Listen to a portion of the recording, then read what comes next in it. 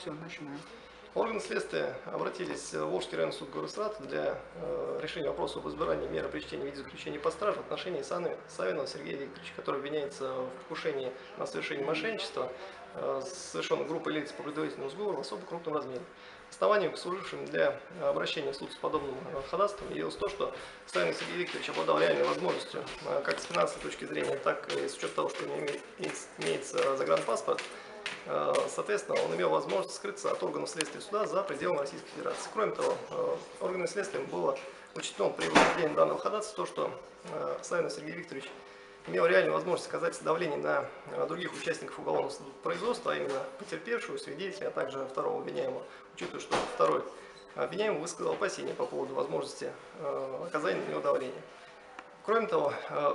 органами предварительного следствия принималось во внимание то, что э, Савин Сергей Викторович оказывал активное противодействие органам следствия, э, в частности, скрывал э, часть документации, представляющей интерес для органов следствия, в силу чего эта документация не была обнаружена в ходе проведенных осмотров мест происшествия, а также обысковых мероприятий. На основании изложенного